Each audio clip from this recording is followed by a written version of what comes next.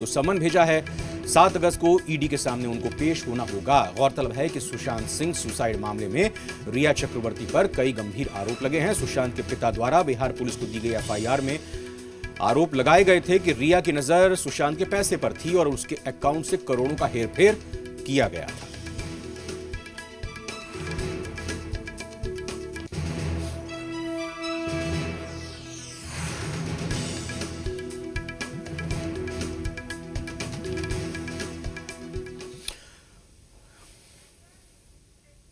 इधर सीबीआई जाँच का जो नोटिफिकेशन है, वो जैसे ही मिला है, उसके बाद सीबीआई को मिलने के बाद सियासी दलों की प्रतिक्रिया तेज हो गई है। आरजेडी और कांग्रेस ने कहा है कि इस पर राजनीति बिल्कुल नहीं होनी चाहिए, जबकि बीजेपी ने कहा है कि सुप्रीम कोर्ट की तल्ख टिप्पणी के बावजूद महाराष्ट्र सरकार बेशर्म बनी हुई है। सुशांत सिंह राजपूत सुसाइड मामले की जाँच अब सीबीआई करेगी। इसके पहले भी कुछ ऐसे मामले हैं जिसको सीबीआई ने लटका कर रख दिया। इस मामले की जाँच सीबीआई करके दूध का दूध और पानी का पानी करे और असली गुनाहगार को देश की जनता के सामने लाए। यही हम लोगों की मांग है। इस पर किसी को राजनीति नहीं करनी चाहिए। मुझे उम्मीद है और भारत के तमाम वो सुशांत सिंह चाहने वाले चाहने वाले लोगों का और जो न्याय में विश्वास रखता है उस सबको उम्मीद है कि अब भारत सरकार सीबीआई जाँच अवश्य कराएगी और न्यायालय निश्चित तौर पे जन भावनाओं का ध्यान रखते हुए सुशांत सिंह के परिवार वालों को कैसे न्याय मिलेगा, इस पे निश्चित तौर पे उनके आदेशों का पालन हम सब करेंगे। सुप्रीम कोर्ट की तल्ख टिप्पणी के बाद भी महाराष्ट्र की शिवसेना कांग्रेस एनसीपी गठबंधन सरकार कितनी बेशर्म बनी हुई है। हमारे आईपीएस को अभी भी क्वारंटाइन किया हुआ है और ये लोग सुप्रीम कोर्ट जो एक्यूज है, उसी के पक्ष में गए। सीबीआई जाँच के खिलाफ गए हैं। तो आप समझ सकते हैं कि एक तरीके से मुंबई पुलिस और महाराष्ट्र सरकार सबूतों को मिटाने और तथ्यों से छेड़छाड़ करने में लगी हुई है ये जो र्यूमर है ये सत्य प्रतीत होता है। इधर जेडीयू ने कहा है कि दुनिया को अब पता चल गया है कि दाल में कुछ काला है और या दाल पूरी तरह से काली है। देखिए। सुशांत सिंह राजपूत के चाहने वालों को अब ये भरोसा हो गया है कि न्याय मिलने की राह में कोई बाधा अब नहीं आ सकती। एक तरफ़ बिहार के लोकप्रिय मुख्यमंत्री नीतीश कुमार जी के अनुशंसा पर केंद्र सरकार ने सीबीआई जाँच को मंजूरी दे दी, जिसकी अधिसूचना भी निर्गत हुई। आरजेडी या कांग्रेस जैसी पार्टियाँ जो भी कहे, लेकिन सीबीआई अपनी साख और विश्वसनीयता के अनुरूप इस मामले में गुनागारों को सामने लाने का काम करेगी, ये भरोसा पूरे देश को है। सर्वोच्च न्यायालय में भी माननीय सर्वोच्च न्यायालय ने सुनवाई के दौरान कुल टिप्पणी की कि ये गलत है, किसी आईपीएस अफसर को क्वारंटीन किए हुए हैं। अनप्रोफेशनल तरीका है ये। उसके बाद पटना के आईजी ने वहाँ के अधिकारी से बात की। तब तो माननीय सुप्रीम कोर्ट का ऑब्जर्वेशन आ गया। अब आप क्या कहना है? फिर भी कोई सकारात्मक जवाब नहीं दिया।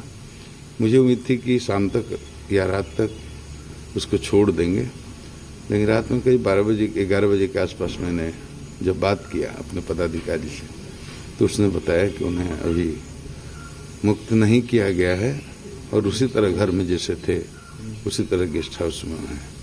वो डर से बाहर टहलने भी नहीं निकल रहे हैं कि उनके खिलाफ मुकदमा न दर्ज कर लें।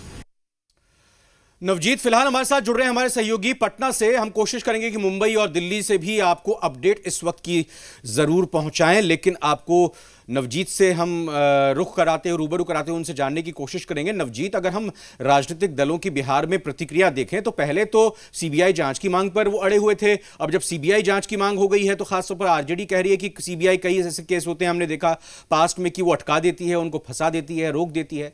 ये समझ नहीं आ रही दोहरी तरह की बातें।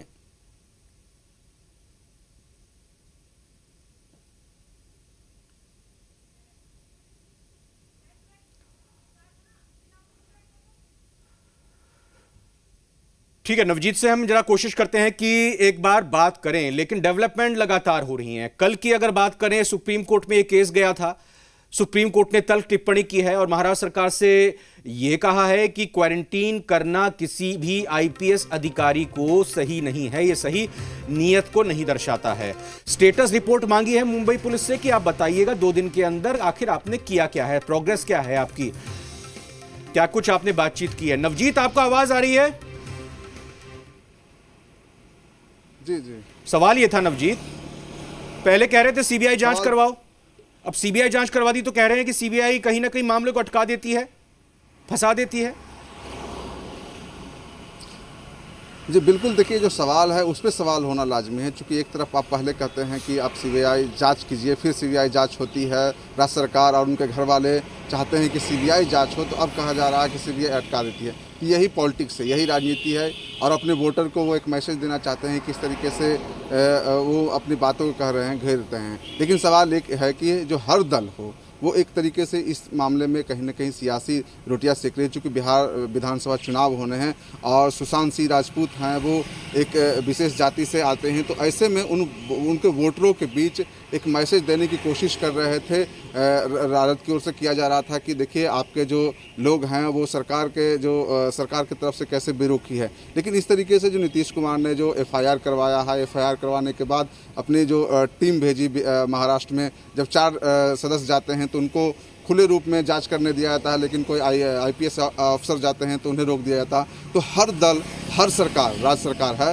वो कहीं न कहीं एक तरीके से पॉलिटिक्स कर रही है राजनीति खेल रही है। तो इस तरह का इस तरह की घटनाएँ होना लाजमी है क्योंकि बिहार में चुनाव हैं। और ऐसे में देखना होगा सुशांत सिंह को किस तरीके से न्याय मिल पाता है, क्या वाकई में न्याय मिल पाएगा कि नहीं मिल पाएगा, वो आने वाला समय बताएगा। लेकिन सवाल ये है कि आखिर जब आरजेडी ने कहा है कि सीबीआई जाँच हो, जाँच कर दी जाती है, बिहार सरकार नोटिफिकेशन जारी करती है, जिसमें सीबीआई को पूरी छूट दी जाती है कि आप बिहार के किसी भी थाने किसी भी मुसफिल किसी भी गाँव में जा कर के आप जाँच कर सकते हैं क्योंकि वो नियम आप कायदा कानून वही कहता है। लेकिन अब इस तरह से सवाल जब खड़ा किया जा रहा है सीबीआई पे तो कहीं ना कहीं एक सियासी ड्रामेबाजी है सियासी जो कह लीजिए बयानबाजी है। अब विपक्ष को कह लीजिए कि जो आरजेड राजा अपनी बात कंप्लीट कीजिए फिर मैं सवाल करता हूँ जल्दी से। जी देखिए बिल्कुल एक कहीं ना कहीं सियासी हाँ। ही चल रही है क्योंकि सियासी गलियारे की जो खबरें हैं जो बातचीत होती है ठीक है। उसमें सुशांत हैं एकमात्र बने हुए हैं एक राजनीति का केंद्र बिहार में बाढ़ है कोरोना है संक्रमण है ऐसे में इन सब चीज़ों से सुशांत चलिए। सियासत से इतर बात करते हैं हम इस केस की प्रोग्रेस को लेकर नवजीत खबरों के लिए ब्यूरोक्रेसी में बिहार में आपकी अंदर तक पकड़ है सूत्र आपके बहुत मज़बूत होते हैं।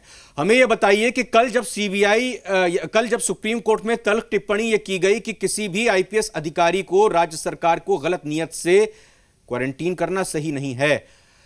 उसके बाद अब बिहार आईपीएस लॉबी में या जो प्रशासनिक महकमा है या पीएचक्यू है, क्या कोई रिक्वेस्ट गई है? या इंतज़ार ही कर रहे हैं कि महाराष्ट्र पुलिस उनको विनय तिवारी जी को अपने आप से छोड़ दे या सुप्रीम कोर्ट जब कहेगी तभी छोड़ दे। मतलब कुछ अब रिक्वेस्ट जाएगी या कहा जाएगा कि भाई छोड़ तो दीजिए उनको अब।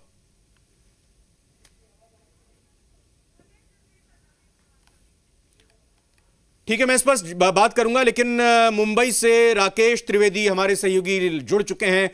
राकेश, सात तारीख को अब रिया की रिया को समन दिया गया है उनके चार्टर्ड अकाउंटेंट को समन दिया गया है।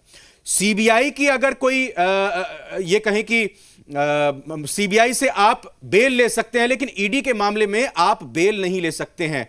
शिकंजा ईडी की तरफ़ से कस रहा है और सबसे बड़ी बात यह कि ईडी ने सम्मन तो दे दिया। रिया आएँगी? क्या पता है कहाँ पे है रिया? देखिए रविंद्र दो बात बताना चाहूँगा। फ़िलहाल तो रिया चक्रवर्ती जो है वो सीबीआई से भी बेल नहीं ले सकती क्योंकि सीबीआई ने अब तक इस मामले में एफआईआर रजिस्टर्ड ही नहीं किया है। जब वो एफआईआर आज अगर रजिस्टर्ड करते हैं उसके बाद में जो है ये देखना होगा कि आखिर रिया चक्रवर्ती जो है वो एंटीसिपेटरी बेल के लिए जाती है या नहीं जाती है। जी। दूसरी तरफ़ रिया चक्रवर्ती जो है अपने घर पर लौट चुकी है। जू में ऐसी अपुष्ट खबरें आई है। हालाँकि इसकी आधिकारिक पुष्टि नहीं हो पाई है लेकिन उनके वकीलों ने यह साफ़ कहा है कि रिया चक्रवर्ती जो है वो एक लॉ अबाइडिंग सिटीजन है। इसका मतलब कहीं ना कहीं ये साफ़ होता है कि जब उन्हें सात अगस्त के लिए समन जारी किया ईडी ने और जो वक्त दिया है उस वक्त हो सकता है कि रिया चक्रवर्ती मुंबई के ईडी दफ्तर में पहुंचेंगी और जो पूछताछ है उसमें शामिल होंगी। इसके अलावा अब सुप्रीम कोर्ट में जब मामला एक हफ़्ते के लिए टल गया रविंद्र तो ऐसे में सबसे बड़ी बात यह है कि खुद रिया चक्रवर्ती चाहती थी कि इस, इस मामले में सीबीआई जाँच हो। और ऐसे में अगर सीबीआई आज एफआईआर रजिस्टर कर लेती है तब इसके बाद उनके वकीलों को या रिया चक्रवर्ती को सीबीआई जाँच से क्या ऐतराज हो सकता है? ये बात उनको जो है निश्चित तौर पर सुप्रीम कोर्ट को बतानी पड़ सकती है, क्योंकि अब तक उन्हें बिहार पुलिस की जाँच पर भले ही जो है कोई ना कोई ऐतराज था, लेकिन अगर सीबीआई जाँच करती है तो निश्चित तौर पर उन्हें ये जवाब देना पड़ेगा। राकेश, मुझे दो चीज़ और हमारे दर्शकों को बता दीजिए। कल जो टिप्पणी में कहा गया कि दो दिन के अंदर मुंबई पुलिस अपनी जाँच रिपोर्ट दे, प्रोग्रेस रिपोर्ट दे तो अभी तक आप, आपने एफआईआर दर्ज नहीं की? मुंबई पुलिस ने। अब क्या आप आगे एफआईआर दर्ज करेंगे तो वो कितनी वजनदार होगी? और क्या मुंबई पुलिस सेटिस्फाई कर पाएगी अब तक की अपनी जाँच के आधार पर सुप्रीम कोर्ट को? महकमे में हड़कम सा मचा होगा। निश्चित तौर पे हड़कम सा मचा हुआ है क्योंकि मुंबई पुलिस को एफिडेविट देकर के अपना प्रोफेशनलिज्म जो है वो बताना है और ऐसे में मुंबई पुलिस ने अब तक जो जाँच की है जिसमें उन्होंने छप्पन लोगों के बयान दर्ज किए हैं। ये छप्पन लोगों में ज़्यादातर जो लोग हैं वो फ़िल्म जगत से जुड़े हुए बड़े बड़े प्रोड्यूसर डायरेक्टर्स और ये लोग मौजूद है जो मुंबई पुलिस की जो जाँच थी वो नेपोटिज्म की तरफ़ जा गई थी। ऐसे में सबसे बड़ा सवाल यही उठता है कि आखिर आपने रिया चक्रवर्ती का जो मामला जो उसके परिवार ने जो जताया शक उसको छोड़कर के आपकी जाँच नेपोटिज्म के आगे क्यों बढ़ गई थी? और सबसे बड़ा जो पेज इसमें रविंद्र जो आएगा वो आएगा कि ओपी सिंह जो सुशांत के जीजा है जिन्होंने फेब्रुवरी मार्च महीने में ही ये शब्द जता दिया था मुंबई के एक डीसीपी को अपने व्हाट्सएप चैट में कि रिया चक्रवर्ती और उसके जो दोस्त हैं उसके जो साथी हैं उनसे सुशांत सिंह को खतरा है जिस पर मुंबई पुलिस ने यह सफ़ाई तो दे दी कि हमारे पास कोई लिखित में शिकायत नहीं थी हाँ। इसलिए हमने जाँच नहीं की लेकिन सबसे बड़ा सवाल यहाँ ये उठता है कि जब सुसाइड हो चुका था उसके बाद अगर ये डीसीपी मुंबई पुलिस के सामने जाकर अपना बयान दर्ज करवाते हैं उन्हें अपना स्टेटमेंट देते कि उनके पास इस तरीके की व्हाट्सएप की जानकारी थी तो ऐसे में मुंबई पुलिस की जाँच क्यों एक्शन नहीं राकेश जल्दी से एक मैं एक सेंटेंस में आपसे जवाब चाहूँगा। ये बता दीजिए विनय तिवारी को पंद्रह अगस्त तक का जो हाथ में ठप्पा लगा हुआ है पंद्रह अगस्त को ही आज़ाद होंगे या पहले भी मुंबई पुलिस मेहरबानी कर सकती है? और बाकी चार पुलिसकर्मी की कोई सूचना? रविंद्र ये मामला मुंबई पुलिस के पास नहीं बल्कि बीएमसी के पास है। बीएमसी ने जो जवाब भेजा है पटना के आईजी को उसके मुताबिक वो कोई राहत देने के मूड में नहीं है। लेकिन ऐसे में अगर पटना के एसपी जो है वो अगर अपना किसी प्राइवेट लैब में टेस्ट करवाते हैं उनकी रिपोर्ट नेगेटिव आती है वो दिखाकर के वो निश्चित तौर पर यहाँ से रवाना हो सकते हैं। आपका बहुत बहुत शुक्रिया राकेश इस पूरी खबर पर विस्तार से जानकारी देने के लिए।